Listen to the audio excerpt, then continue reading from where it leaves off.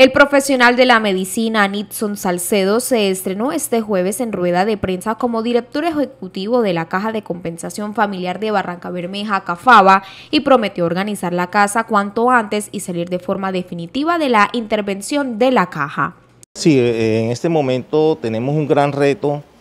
primero por la pandemia, esto ha disminuido eh, los ingresos de la caja, ha disminuido el número de empleados a nivel de Barranca Bermeja,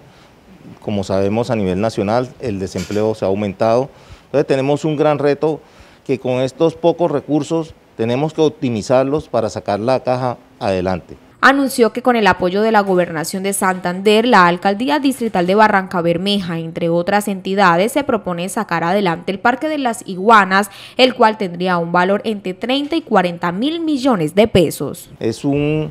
un proyecto que vamos a hacer junto con la Gobernación, junto con la alcaldía, Cor Magdalena, Ecopetrol, y es una inversión aproximada,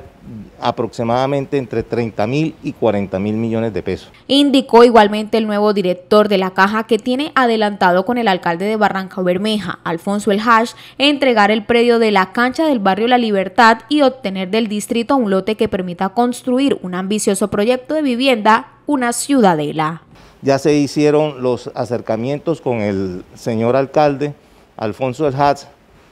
para canjear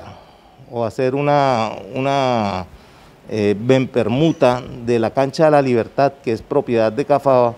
para que sea propiedad del municipio y el municipio nos dará unos lotes donde podemos construir este plan de vivienda que tenemos pensado. El nuevo director de Cafaba viene de desempeñarse en el sector privado, pero también ha ocupado cargos en el sector público, como quiera que fue gerente de la empresa social del Estado S, Barranca Bermeja.